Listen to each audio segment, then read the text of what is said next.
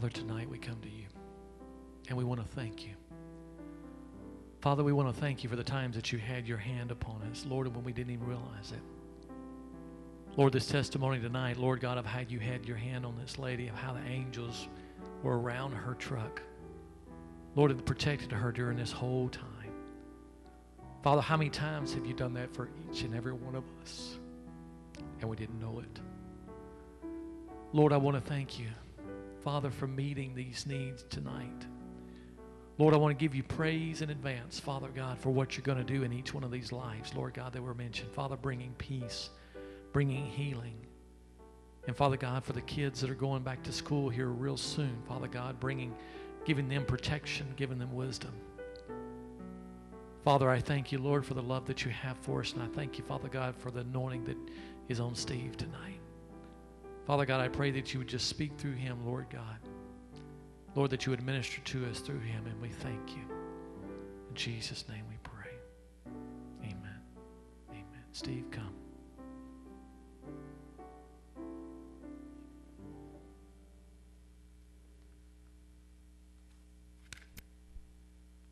There's a sweet, sweet spirit in here tonight.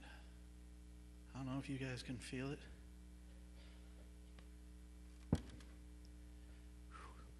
Think it's over here by Keith. I don't know, you guys. Ooh, man. I got the little jitteries up and down my back. I usually don't get, I get the nervous jitteries. I don't get the Holy Spirit jitteries. Ooh, anybody want to dance? Becky, come back. We'll just play a little bit. Oh, praise the Lord. Thank you, Lord.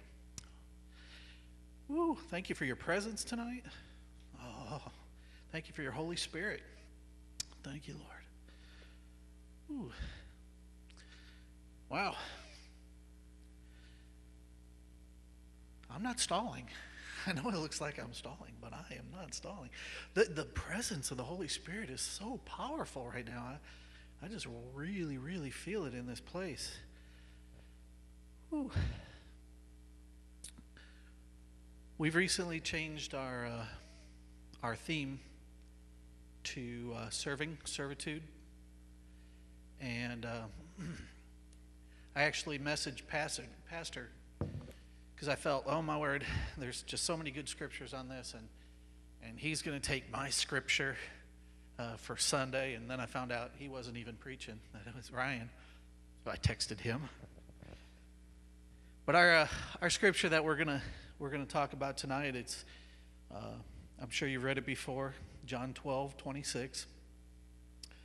And uh, it didn't it didn't take long for me to find this scripture. Um, it was it was already on my heart, um, and uh, and it was just uh, it was it was already powerful. I, I think it was powerful from when I was teaching with Brother Tom because I spent so much time in children's church, and uh, and it was so hard for me to leave children's church and to uh, to be the media ministry and do all that and go from a kind of a you know front up up front and teaching the kids and you know kind of kind of ministerial pastoral type role for the children to you know sitting all the way in the back. You can't get many seats past where i'm at just so you know.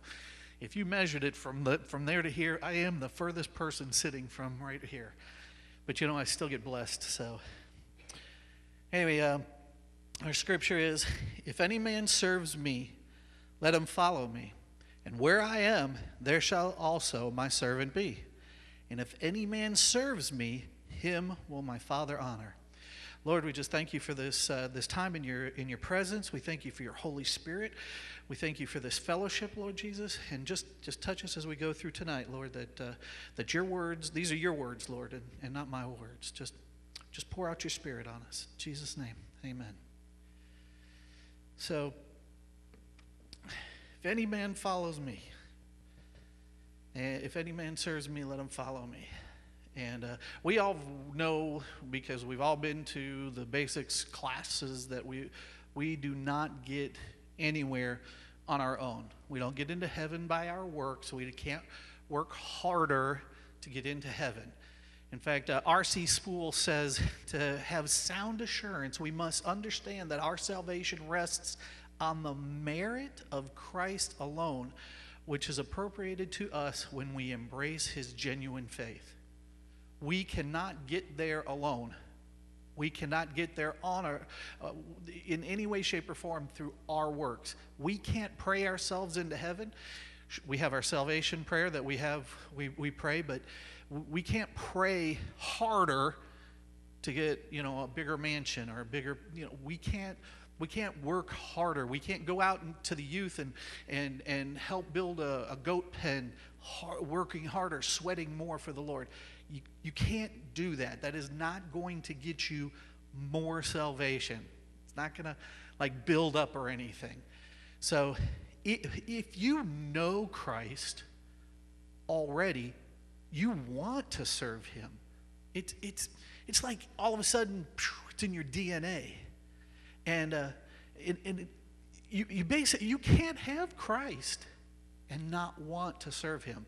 Your heart just pours out. Your heart just bleeds for that. And we've all read, again, James uh, 2 14 through 26. We've all had studies on that. I've had studies on that.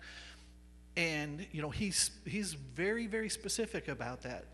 But one of the things that, that I want you to get here is we're not saved by service but in any way, shape, or form. But we are saved to serve. You got that? We are saved to serve. We're not going to do any more service that will help our salvation, right? We live we had one time we were in bondage to the world and it kept us a slave already to sin. But once we've made, been made free with the sweetness of the perfection of freedom in Christ, we no longer in slavery to that sin but we still have a new master, the righteous master, Savior Christ, who gives us holiness and his perfect salvation. Once saved, we live in a perfect service for our Lord. If, and I probably should have saved this for the end, but if you aren't serving Christ, then I challenge that you are saved. It's a symbiotic relationship. The, um, it, it, you can't separate the two. You are saved, and so you want to serve. You, you're saved so that you can rid your mind of those self promoting thoughts. You're saved so that your heart doesn't have that selfish will of its own. So it goes out and does its own thing. But you have a will to follow the way of the Master each and every day. You have the will of Christ. And by definition, isn't that really the salvation? That where you're born again to a new mind and a new heart, a heart and a mind of Christ? That, that just refreshes you and makes you new. In fact, if you refuse to serve Christ, then I'm saying that you're not, you're not saved. You're serving yourself, walking in a self service as simply being a servant for Satan. There's only one way to be delivered from this self righteous, self serving, self willed mindset, and that is to be saved. And that, mu- that means you must serve, but instead of serving yourself, being self centered, you serve Christ. Your heart changes. You want to do this. You're, you, you, you're poured out, and you want to pour more out. You, you just, you get that way. In fact, God counted Abraham justified by his actions when he put Isaac on the uh, altar. In James 2:22 he says, "You see his faith and his actions worked together. His action made his faith complete. He he didn't just believe it, he went and did it so that he so that he could show that he believed." 3 times in our verse it says the word serve or servant. It's a picture of a servant. In Greek, it's diakonos, which means someone who literally kicks up dirt in the activity of serving his master, gets out there and really pushes hard to, and, and gets things going. It's an action word. And the word diakonos, it's the root from which we get our deacon, the word deacon. But Jesus is not just talking about the people that hold the office of deacon that are supposed to be serving. He's talking about anyone who serves. In our verse, it refers to the servitude. If anyone serves me, let him follow me. Where I am, my servant will also be. If anyone serves me, him my Father will also honor. So I'm going to break this out into the three parts that are already broken out in that scripture for you through commas. And I'm going to tell you that there's three absolutes of serving. when you serve, you must follow Christ. When you serve, you must be where Christ is. And when you serve, you will be honored by the Father. So, first off, when you serve, anyone who serves me, let them follow me. And it took me a second. I had to go, well, maybe we should define follow. Pick up, you know, how does, what is follow? How am I going to, how am I going to chase this, you know, follow? And, and Lord kind of dug me in a little deeper than, than I usually do because we didn't i didn't just define follow as just one word. It, it's not just follow in the direction but follow my words and follow my example. Follow me into death. To serve means to follow christ and not yourself. If anyone serves me let him follow me into ministry. What is your calling? What did god call you to do you may not be doing what God called you to do. You may think that you're doing something great for the Lord, but if God called you to do something else, I'll show you a scripture down here, then you're, you're not doing the will of the Father. And so you may actually be working your tail off and sweating and doing all this stuff, but you may not be in the ministry that God's called you to do. You know, when, when we first went into uh, to ministry and, and we started going to these classes and we went to the district office, they always asked, what, what, is, your, uh, what is your ministry? What, what were you called for? Man, I had a tough time. I had just did a transition from children's church and I loved the children, loved working with the children, and, and my heart was for the children. I had done mission trips to, to New York, to Ecuador, to Costa Rica. I loved doing that. I would always come back just pumped um, just ready to do do anything for the Lord. And but then I knew God called me to what He gave me a uh, a skill for. He gave, He knows that I like to play with photo Photoshop and Dreamweaver and all that crazy stuff. But he also knows that I have a, te- a, a, technical side to me that I understand the, the computer side of things. And so they needed somebody in media ministry. God knew that. That's where God put me. It wasn't just my talent or my interest, but that was God's will for me. Believe me, there are times that I question God's, God's direction there, but I know it's His because of how hard it was to leave Children's Church. It just ripped me apart. But it says in Ephesians 2:10, it says, it is God Himself who has made us what we are and given us new lives from Christ Jesus. And long ages ago, He planned that we should spend those lives in helping others. He's already planned what we're going to do to help other people. We, he's already planned our servitude. It says in uh, Jeremiah 1 5, Before I made you in your mother's womb, I chose you. Before you were born, I set you apart for a special work. What is that special work? That's determined by you. I mean, and God, and, and you guys get together. I can't tell you what your work is. The district council couldn't, uh, district uh, board or whatever couldn't tell me what mine was. It is what God has called you to do. And most likely you have something burning in you already for it.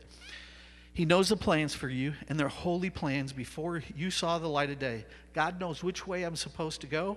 He knows which way you're supposed to go. He knows the direction in the ministry that we are supposed to go, and He knows how long that I'm supposed to be there. By goodness, do not leave a ministry before God has released you from it.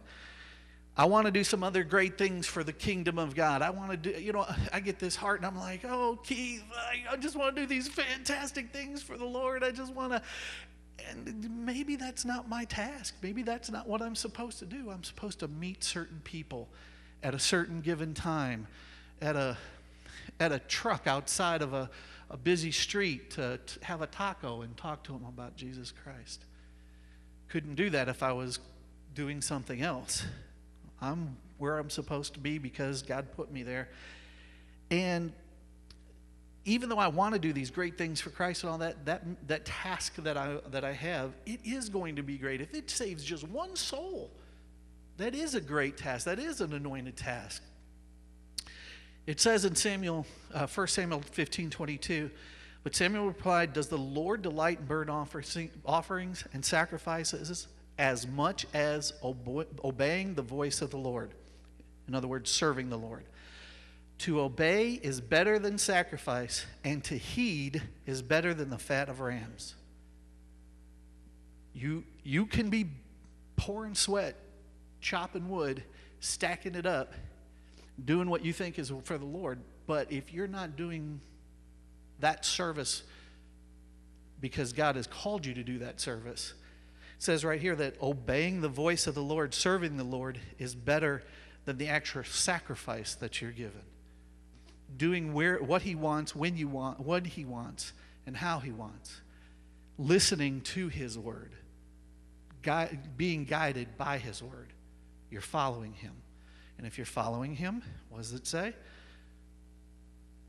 So it says, So I took follow again, and now if anyone serves me, let him file, follow my orders or my commandments. I could only imagine life in the military. I've never been in the military, but I don't know if it counts any. I've watched a lot of military movies and I've seen some boot camp movies and stuff like that. Um, but one of my favorite movies is not a military movie, it's Forrest Gump. And there's a scene in Forrest Gump that is just a hoot to me. Forrest Gump, Forrest Gump sa- uh, shouts out after putting together this machine gun, "Done, drill sergeant!" And drill sergeant yells at him, "Gump, why'd you put that weapon together so quickly?" And Forrest Gump says, "Cause you told me to, sergeant." And that's exactly it. He just had the simple mind. He was going to do exactly what he was told to do, and he was he put it together faster than anybody else. And I believe that we're supposed to follow Christ, then eh, follow Christ and recognize that, that that's the task that he has asked us to, to do. Do you believe the word of God, every word of it? Then you should follow every command that God has for his given people. Not sometimes, not when it's convenient, but all the time, every time. When you have the toughest time loving yourself, follow that commandment. When you have the task of loving the most unlovable that's in your life, that's when you love them the hardest. It says in John 14, 15, if you love me, you'll keep my commandments. John 14, 21, whoever has my commandments and keeps them is the one who loves me. The one who loves me will be loved by my Father, and I too will love them and show myself to them. 14, 23, John fourteen twenty-three. Anyone who loves me will obey my teaching. My Father will love them, and he will come to them and make them a home for them. Home with them, excuse me. John 15, 10. If you keep my commandments, you remain in my love, just as I have kept my Father's commandments and remain in his love. 1 John 2, 2, 3. We know that we have come to know him if we keep his commands. I've, I've got more. But we obviously know that the, if we follow these commands, if we follow his commandments, we're going to be we are we are doing exactly what he has asked us to do. We are following him. We reap rewards from following those commandments. However, there are warnings in the Bible about not following his word or his commandments. In 1 Kings 9 6, it says, But if ye shall all turn from following me, ye or your children will not keep my commandments or my statutes which I've set before you, but go and serve other gods and worship them, then I will cut off Israel out of the land which I gave them, and this house which I have hallowed in my name, and I will cast out of my sight and Israel shall be a proverb and a byword among the people. If you're not following his commandments, if you're not following his word, if you're not following him, or following his word by following him, then you, it basically says you'll be cut off. If you start doing your own thing, you're going to have consequences for it. And I know, just like you, I pray each day. I pray for peace in my life, or I pray that, you know, maybe my world around me is quiet, more quiet than the chaos that I live in, or I pray for a, a more simple life. What am I really praying for? Maybe I should be praying for the strength to do what the Lord has for me to, so that I can obey His commandments that, I ha- that, that are in my life, so that I'm following His will. And wouldn't that bring the peace and that quiet from the chaos? Wouldn't that be really what I should pray for? If you think about it, if I'm doing what I'm supposed to be doing every moment of my life, obeying every commandment, that means I'm following Him And if I'm following him, I am serving him. So anyone who serves me follows my commandments, but they also follow my example. You saw the little bracelets, just do it. You know, that, that's what you know, that's what we need to do. We need to just do it. Follow that example. Every Christian is supposed to be Christ-like. And you know, I, I really wanted to go get a big old tall sunflower and just set it over here and have my little sunflower seed to, to show up. So we're going to pretend that up here is this like five and a half foot uh, sunflower, the big old bright yellow, and a whole bunch of sunflower seeds stuck there in the middle. And we'll come back and we'll bring, we'll, I'll just distract your attention with our sunflower. You guys can't see it from over there, can you? It's right here. We'll come back to it though. Because if I were to take the sunflower seeds out of it, right, and I threw them down into a garden somewhere, what would I get? Good. Very good. Because, yes, just like the, the parent plant, I'm going to grow exactly what that is. I'm going to get more sunflowers from it. So, if you want to be like Christ, you have to do the things like Christ. Oh, you saw where I was going there with that. You know, when Trey was a little boy, he uh, he had he he imitated people and and things, and one of his favorite people to imitate was uh, Anakin Skywalker from great movie. Anyway, and. Uh, he had this he had this vision and i don't know if you guys remember the ones who've been in church for a while he had this vision that a padawan learner had a tail had a, uh, uh, uh, it was his own thing. I'm telling you, it was on the show. So he saw it, and he had his little tail, and it was all draped down through here, and and so he was imitating Anakin Skywalker.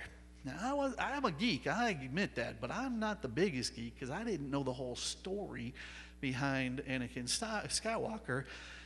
And some of my friends did, and they kind of put the story together for me, and I realized that it may not have been the best example for him to imitate, but he decided one day that he was no longer a Padawan learner. And we caught him in the mirror cutting his little tail off. We have that little tail, that little hair tail, and Mama's got it in a scrapbook somewhere.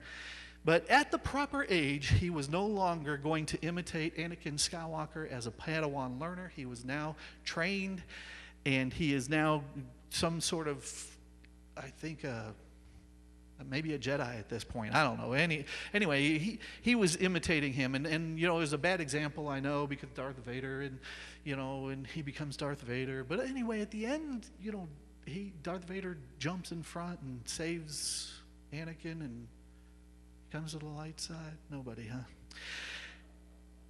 We have to be sure we're imitating the right thing. Even the Antichrist is going to be an imitator, right? He's going to be an imitator of Christ. It's, he's going to have that, eh, that Antichrist title. He's going to imitate Christ. He's going to imitate him through worship, worldwide dominion. He's going to imitate a throne. He's going to get the tendency to, to initiate, every, everybody's uh, uh, uh, going to look for, at him and imitate Christ. And they're going to, they're going to do all this. He's going to do all this through satanic powers, empowerment. But he's going to try and imitate Christ. So we have to kind of be careful. You know, I probably wasn't the best to, to let Trey imitate Anakin Skywalker, but we do have to be careful.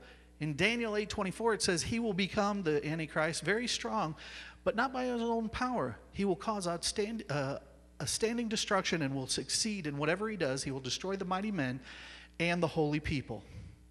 So we have to make sure that we are imitators of how the people of how people let me rephrase that. We need to make sure that we're not imitating people in church or what we think we've heard the Holy Spirit or, or making, making sounds that, that, that we think it. We need to imitate the right thing. We need to be imitators of Christ walking, talking, thinking, loving like Christ. Like that sunflower that's over here, you know, if I pulled the seeds out, planted it, it would grow up more sunflowers exactly like the Father plant. We want to make sure that we do that. And Paul even says, be imitators of me because I'm going to be an imitator of Christ. And in Ephesians 5:1 it says, "Therefore be imitators of God as beloved children." The Christ life has two aspects knowing who we are now, right the second in Christ, and then living out who we are.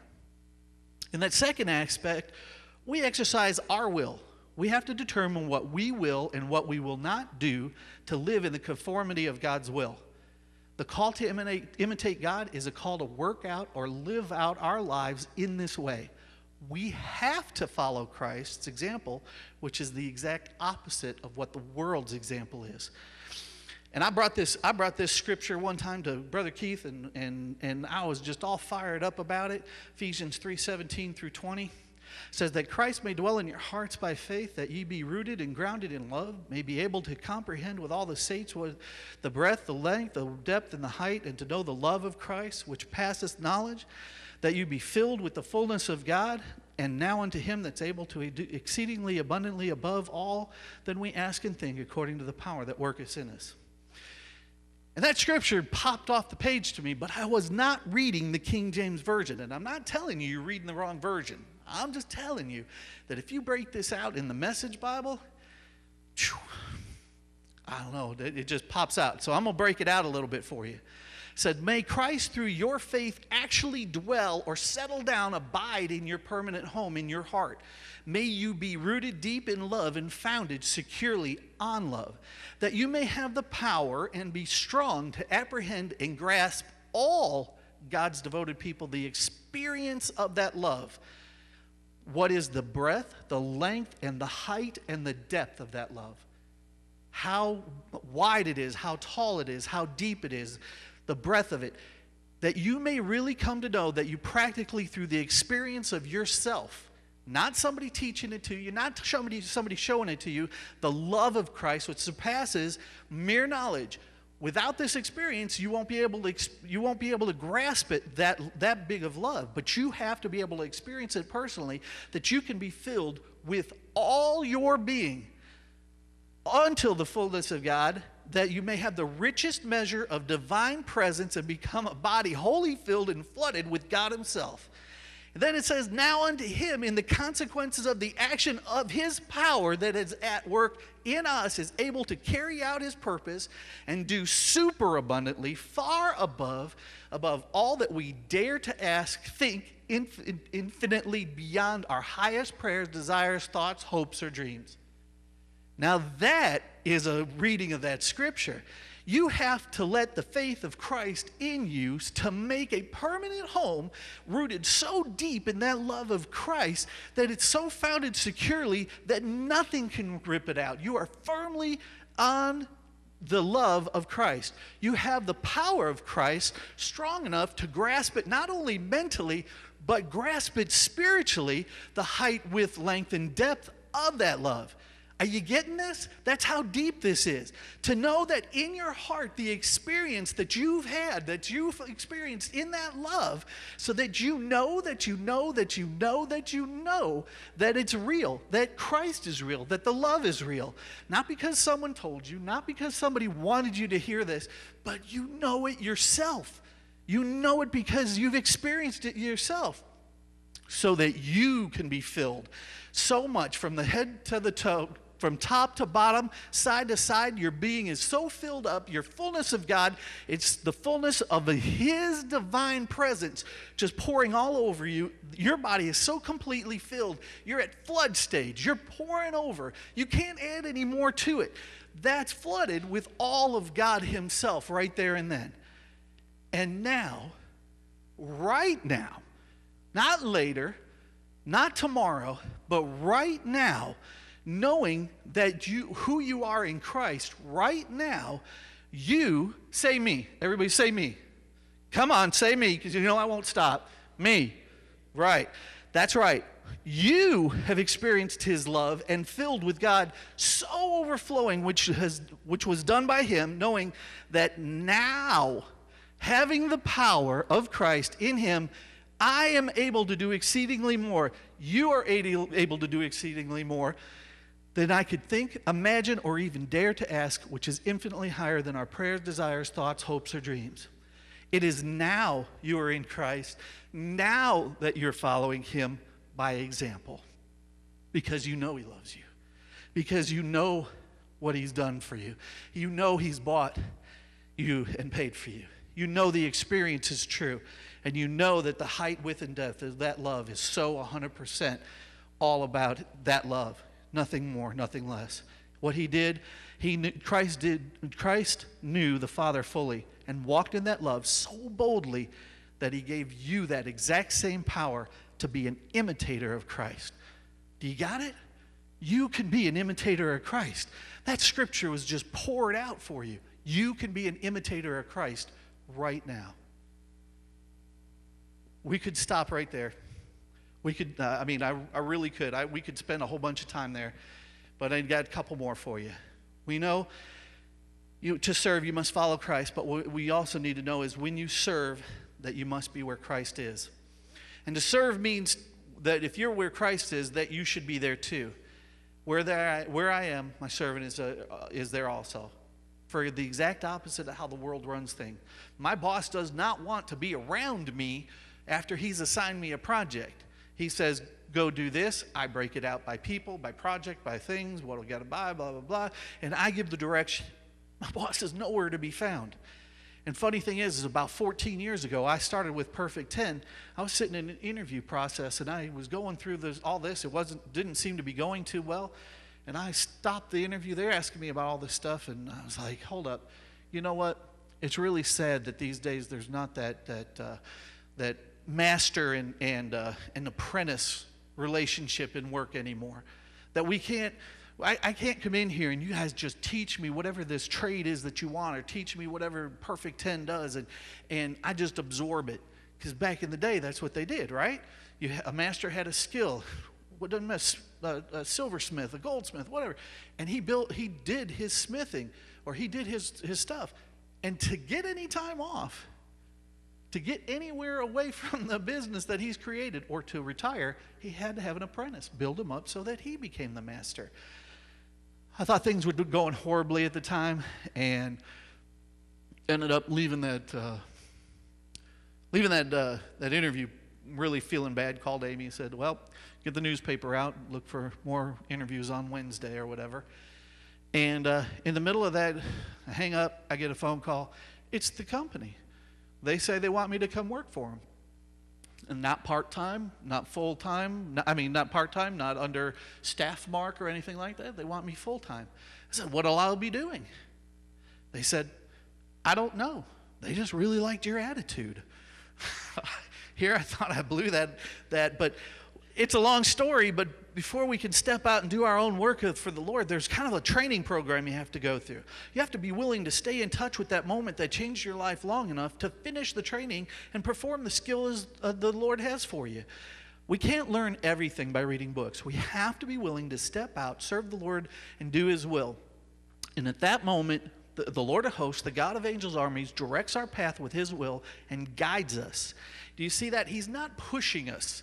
He's not pushing us. He's walking beside us. He's guiding us the way we, we are. He's, he's teaching us.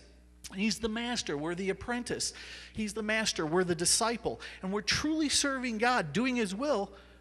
Then where He shall be, I will be too, because I'll be His servant.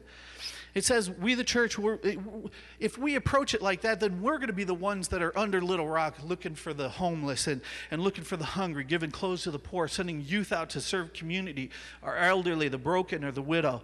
The king will, the, the, in Matthew 25, 34 through 36, it says, The king will say unto his right hand, Come, to, come, you blessed of my Father, inherit the kingdom prepared for you from the foundation of the world. For when I was hungry, you gave me food. When I was thirsty, you gave me drink. When I was a stranger, you took me in. When I was na- naked and you clothed me. When I was sick, you visited me. When I was in prison, you came to me. That was the first scripture that I ever did anything with because Pastor Husky asked me to do a devotional in Ecuador, the first mission trip we'd ever been on, the first devotional that I had ever heard on a mission trip, on my first mission trip. My first scripture, I don't know if I'd get getting the first in there. So we have to, we shall be there doing those things. And you know what? You know the rest of those scriptures because what did he say? He's there too.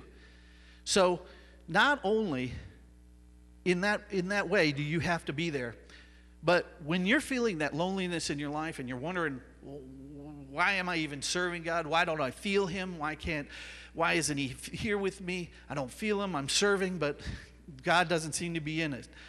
I mean, I, I could be wrong, but when I get the feeling this way, I get depressed. I think all over me. I sit around, I sulk, I lay around, I mope, I have my own little pity party, and it seems as though I'm not moving and I'm not going anywhere. I'm just, I'm not moving forward at all. Maybe, just maybe, you're not following the God, God's example He set by His Son. First off, if you are walking with Christ, a, that's how a blessed man would be walking with Christ. Psalms 1:1 says, "A blessed man who walks not in the counsel of the godly, ungodly, stands in the path of sinners, nor does he sit in the seat of the scornful." You're feeling humdrum from serving, or you feel like that God's not with you in your ministry. Be blessed. Don't walk, stand, or sit in the situation. Run to Jesus. Run to Him. Newton's first law of motion states that an object in motion tends to stay, remain in motion. Object at rest stays at rest. This law applies to people too. Some are naturally driven to complete projects, others are kind of apathetic, requiring motivation to overcome this inertia, this laziness, a lifestyle for some, but it's a temptation for all. You know, Jesus was always on the move. He was always walking in the next person or the next thing to do for his ministry. He was ready to serve his master, and he kept on moving. Maybe the reason you don't feel that God's around you any longer is he's moving forward and you're lagging behind. It is a temptation for all of us to be lazy. But uh, Proverbs says, The sluggard craving will be his death because his hands refuse to work. Sluggard or the lazy man loves sleep. As the door turns on its hinges, so a sluggard turns on his bed. The sluggard says, There's a lion in the road, a fierce lion roaming the streets. I can't get up and go do anything. He wastes his time and energy. He who is slothful is in his work is a brother to him who is a great waster. All those are from Proverbs. It says Proverbs is a lazy person, but he has a servant. Diligent hands will rule, but laziness ends in slave labor. He becomes a, he becomes a servant. Lazy becomes a servant, but he becomes a servant to man to try and, and to make up for that. We know that not serving a sin is, is, is a sin in the Bible. It says in Ephesians, Ephesians 2.10, we are prepared in advance for the work we are called to do. For we are God's workmanship, created in Christ Jesus to do good works, which God prepared in advance for us to do. It is our salvation that when we're saved, that changes us from serving ourselves or serving man to serving God. Ephesians 4:28 he who has been stealing from must steal no longer, but must work, doing something useful with his own hands, that he may be, have something to share with those in need. He'll carry you through the tough times if you let him. He'll guide you through the temptations if you let him. He'll continue to be by your side if you let him. But there's much work to do, and he's constantly moving. Question is, are you constantly moving with him? If you don't feel like Christ is around you anymore, maybe it's because you stopped and, or started walking. Maybe you sat down on the job. So when you serve, Christ is where you are, and you, me, are where Christ is. I am where Christ is because that's what I'm doing. I'm serving. And Christ is with me, I'm with him. So we go down, we're on our third third part of this scripture. I am not going to run out of time. You guys have been faithful. Thank you.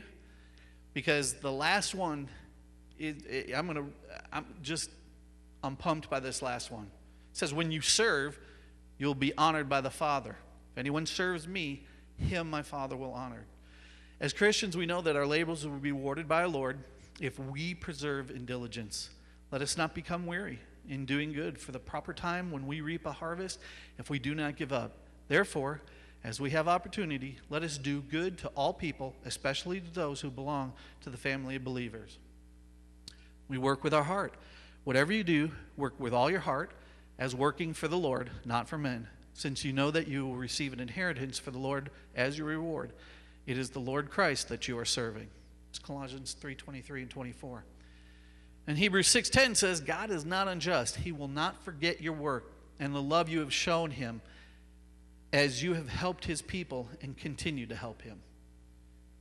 God will be you will be honored by the Father because the Son has asked him to. The Father rewards us with being a blood-bought part of the family, a sonship with all the rights and roles of the first son. In this crazy old world, it's an honor though that allows us to call out to him and say, Abba, Father. We have that personal connection because the Son allows us to be honored by the Father. We're, we're honored by, uh, by Him by being able to be called His beloved Son, another personal connection that Christ allows us to have and be honored with. And we're being called a good and faithful servant in which He is well pleased, another personal connection and Christ is allowing us to be connected to God in this personal way. And He's going to reward, He's going to actually say to His Father, Look at Steve, my good and faithful student, servant. It says in 1 Corinthians 15 58, Therefore, my dear brothers, stand firm, let nothing move you. Always give yourselves fully to the work of the Lord, because you know that your labor in the Lord is not in vain. So I'm going to repeat what I said at the beginning of this. It is a symbiotic relationship between the two saved and, and serving. You are saved so you can rid your mind of those self promoting thoughts. You're saved so your heart does not have that selfish will of its own, but the will of the way of the Master each and every day. That the will of the Master and the will of Christ, that's the salvation. Born again with a new mind and a new heart. If you refuse to serve Christ, then you can't be saved. Therefore, if you're serving yourself, walking in self service, being simply, uh, simply you're being a servant for the world or a servant for Satan. There's only one way to be delivered from this self righteous, self serving, self willed mindset, and that is to be saved, which means you will still serve, but instead of serving yourself, the world, or Satan, you serve Christ. Right? When you serve Christ, I want you to remember these three absolutes. When you serve, you must follow Christ with your action, your word, and your deed. Ministry commands an example. When you serve, you must be where Christ is, physically doing the work by his side, but spiritually living the life by his side. And when you serve, you'll be honored by the Father. And what a day that'll be, right? What a day that'll be. I love that little that song. What a day that will be when my Jesus I shall see. When I look upon his face, the one who saved me by his grace the one he takes me by the hand and leads me through the promised land. What a day, glorious day that will be. There'll be no sorrow there, no more burdens to bear, no more sickness or pain no more parting over there, and forever I will be with the one who died for me. What a day, what a glorious day that will be. Lord, we thank you for opening our hearts to this word that you have for us. We thank you for just directing and guiding us and allowing us to hear your word that what a servant is. Lord, I can't wait for that day that you that you do take us through that promised land. That'd be a magical tour, I swear. That promised land be beautiful. A tour of a lifetime. You know, Lord, sign us all up for that tour. Sign each and every one of us up, Lord. Lord, just be with us as we leave this place. Strengthen us to do your work. Encourage us to walk beside you, Lord. And Lord, just just give us that, that protection that we need, that hedge of protection around us, Lord, as we go through the, this week, Lord. as we go and, and we fight for you, Lord. We love you, Lord. Until the next time that we're in your presence again. In Jesus' name, amen. You guys are dismissed.